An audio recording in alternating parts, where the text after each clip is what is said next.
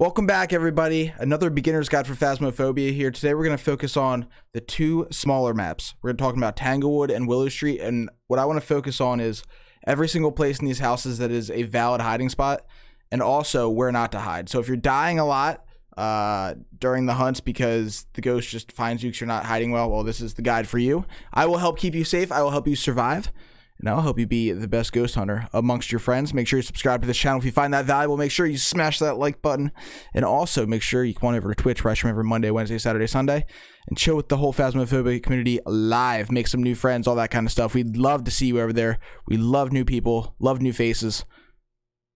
Uh, let's get started.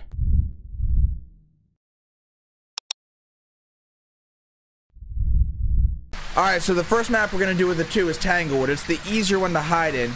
I'm gonna show you why. Dear Lord, that's loud. So in Tanglewood, you got a ton of closets, okay? Hello, Ghosty. Keep in mind, this is Nightmare mode, so on Nightmare mode, a lot of these closets can be filled. If you're on Amateur or Intermediate, uh, we got an open closet here we could use to hide in, actually, which is really good. You just turn your light off and hide in there. But for example, this closet is filled. You can't go in there. Another one would be in the boys' bedroom. Okay. So if you have a closet open, you want to get in that closet. There's lockers in the garage. Those are normally filled on Nightmare as well, especially if you have a closet open in the hallway. But all those places are good places to hide on the lower difficulty level. So on Nightmare, you're looking at more of furniture locations. My favorite place in the garage here is going to be behind this tool chest right here. It's not entirely safe. I've died here a few times, but it's, you know, it's, it's a solid spot to go for. And you're relatively pretty safe. Um, in a pinch, you can go behind doors. Just like this, on the tighter ones. Um, this is probably your second best bet for a door. A door like this, where there's a lot of space between the door and the wall, it's a lot bigger risk because the ghost is going to come in here and around the garage, and if it sees you, it's just going to kill you. But the favorite door in this whole house to hide behind is going to be probably this one right here.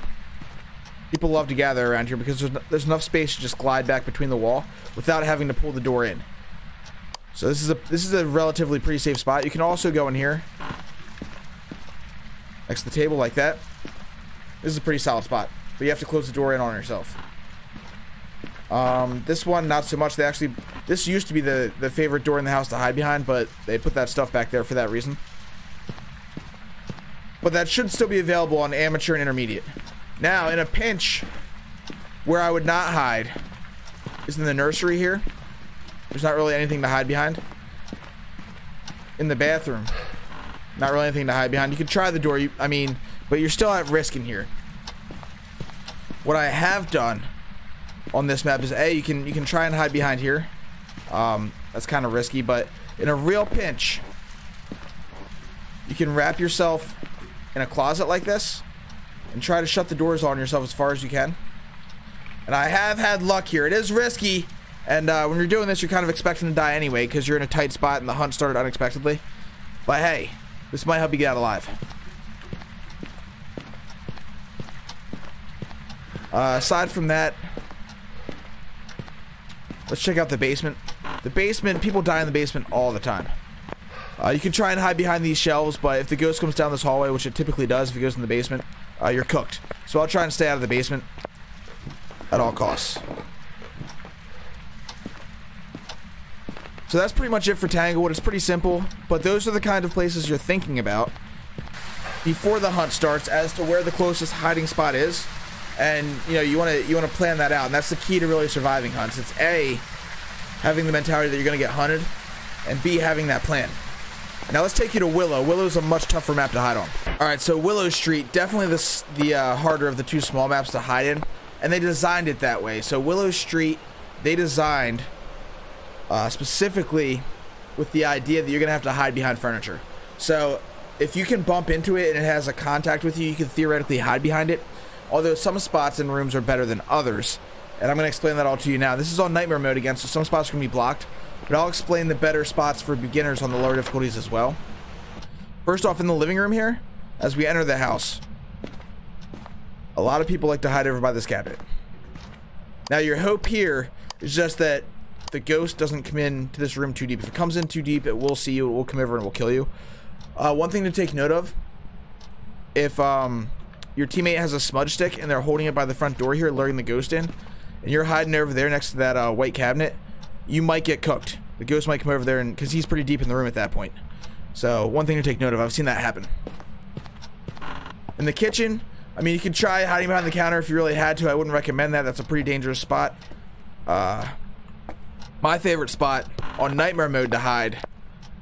Well, if, if we weren't on Nightmare. If we were on a lower level difficulty, and I haven't hid here in forever because normally I'm always on Professional or Nightmare, and this spot's always blocked, but it's right over here, next to the, uh, the dryer step row, where these crates are. These crates aren't here on the lower difficulties, and you can sneak in that little corner right there, and that's a pretty safe spot. So I'd recommend trying that. Um, over here could be safe, but it's still risky because the ghost can come back here. Um, it's definitely not as safe as that spot by the dryer would be. But in the garage, you also have potentially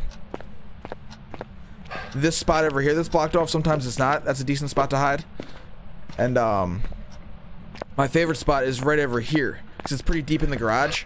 And this spot's always open. So if you're upstairs, try and get to the garage in this spot on Nightmare. Or if you're on a lower level difficulty, try to get to that dryer. But let's check out the other rooms. The bathroom, I wouldn't hide in the bathroom. That's just flipping a coin. So if the ghost comes in there, you're done. Uh, the boys' bedroom here. You can get away with hiding here, although the ghost does sometimes take a path that's uh, in front of the bed. It'll come around the corner in front of the bed here. Hey, Boone. That's cool. So if it does take that path on the way back, you're going to get nuked. You can hide over here. This is definitely safer. So that's a spot to consider, especially if you are on this side of the house and the ghost is in the middle here and spawns in the middle and you can't get to the garage. That's one spot that's decent. In this bedroom, uh, behind this chest over here is okay. And also behind the desk over here is okay. But keep in mind, the ghost can always just come in and just, just clap you.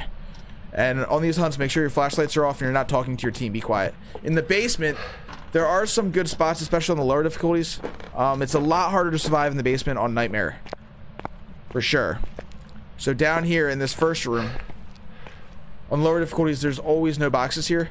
On Nightmare, sometimes there's no boxes here. But if you can get in behind there, that's a pretty solid spot. Um, behind here is kind of risky. You could do it, but it's it's risky. Over here, if these boxes aren't here, behind that shelf is a pretty solid spot. But this spot right here is just about always open. Right here next to this uh, this workbench. And this is an okay spot. Not entirely safe. Nothing on Nightmare is really entirely safe. Behind this tire here, it's a pretty solid spot. A little scary. But my um, personal favorite spot in the entire basement, if you have the chance to get behind this trash can here and there's no boxes, that's pretty safe. Like I said, on Nightmare, a lot of the safest spots are blocked off. But lower difficulties, this is a, a definite go.